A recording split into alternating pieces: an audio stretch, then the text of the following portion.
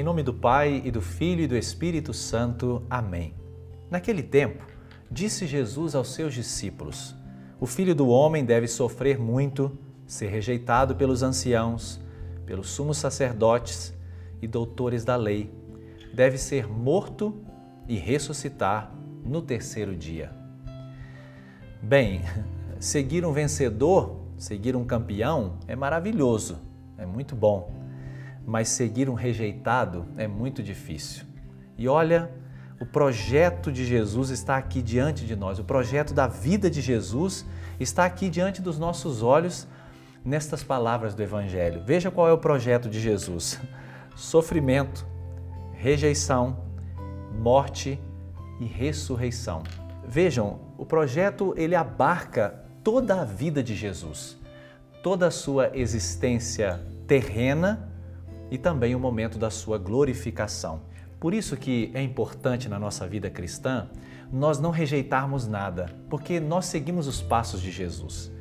Nós demos a nossa vida para Ele, nós queremos segui-lo de perto, queremos ser discípulos, não somos multidão. Então, também nós somos chamados a percorrer esta via de ascese. Né? Por isso que as escolhas né, na vida de Cristo é, sempre comportaram é, um, caminhar e nadar contra a correnteza. É? Porque Jesus sempre foi é, sinal de contradição, já estava lá na profecia quando ele foi apresentado ao templo. Então, as escolhas de Jesus comportaram sempre essa, essa contradição. Na nossa vida não vai ser diferente. A escolha por Jesus, querer imitar Jesus, também vai comportar na minha vida estas contradições.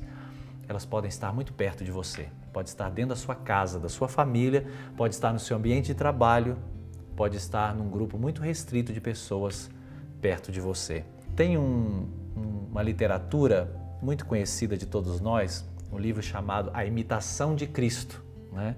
Ele é de Tomás de Kempis, do século XV. Esse livro ele é um compêndio, na verdade, de vida espiritual e cujo conteúdo, o principal empenho é meditar sobre a vida de Cristo, livres da cegueira do coração. Assim é o começo do livro. Meditar sobre a vida de Cristo, livres da cegueira do coração. Porque o nosso coração, ele pode viver cego, não querer sofrimento, não querer rejeição, não querer passar pelos mesmos passos de nosso Senhor. Às vezes a gente quer pular a etapa, né? Quando um sofrimento bate à nossa porta, vamos pular essa etapa, né? Vamos já para a ressurreição, vamos já para a glória, porque o sofrimento e a provação é muito doloroso, é muito dolorosa.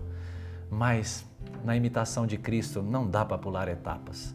Nós precisamos percorrer o itinerário que fez nosso Senhor, porque é um itinerário seguro é um itinerário completamente seguro para que nós cheguemos à ressurreição com Jesus. Nós precisamos passar por todas essas etapas. Então, o filho do homem deve sofrer muito, ser rejeitado, morto e ressuscitar no terceiro dia. Esse é o projeto de Jesus. Você quer participar desse projeto? Né? Isso aqui não é masoquismo, isso aqui não é é, aderir ao sofrimento de uma forma é, banal ou inconsequente. Não. Isso é vida cristã. Isso é querer assimilar a nossa vida à vida de Jesus. Se o sofrimento bater à sua porta, não importe. Não importe porque o Mestre vai estar te tomando nos braços para que você passe com ele essa etapa e chegue à ressurreição. Sobre todos vós, a bênção do Deus Todo-Poderoso, Pai, Filho e Espírito Santo. Amém.